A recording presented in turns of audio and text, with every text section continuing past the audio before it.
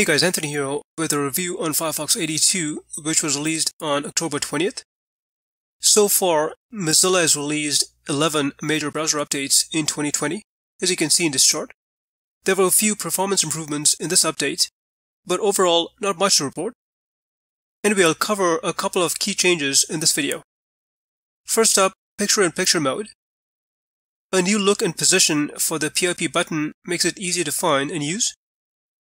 The picture-in-picture -picture feature allows you to watch a video while multitasking. In this case, I'm browsing a website while watching a video, and I personally find this feature very useful. Next up, WebRender. Mozilla's next generation GPU-based 2D rendering engine, which is designed to provide a fast and smooth web browsing experience.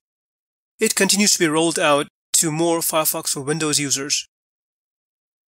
So these were a couple of notable changes in Firefox 82. You can check the list of detailed changes in the release notes. You'll find the link in the description section. In terms of the BrowserMark benchmark test results, the overall performance of Firefox remains steady compared to the earlier version, but Google Chrome continues to outperform. Well, that's it for now. Until next time, thanks for watching.